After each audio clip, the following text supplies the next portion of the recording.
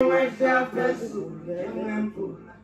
Yelele, yelele, what's up, let's do that. Ela fi, ela ma fi, wako bosi. Ela ma fi, wako bosi. Ela ma fi, Elma, ema, ema, ema fi, ema fi, wako bosi. Ela ma fi, wako bosi. Ela ma fi, wako bosi. Ela ma fi, wako bosi. Tasha K.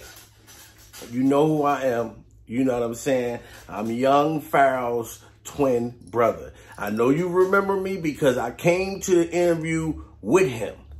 Okay? And me and my brother, none of us, we had no idea that you were making money off that fucking interview and we going we gonna need ours. You know what I'm saying? My brother, he want 75%. Me, look, you can pay me 5%. Like, I don't give a fuck. I take food stamps. I take gift cards. You know what I'm saying? Like, you can pay me a monthly. You can pay me monthly. Whatever you got, you just give to me or whatever. But my brother, he called me from a spaceship and he said, look, he was watching the fight last night from the spaceship and he said he don't appreciate that you out there making money. And then on top of that, Tasha, on top of that, you was threatening all the YouTubers to sue them for using the interview that you were making money off and my fucking brother didn't even know you were getting paid for it.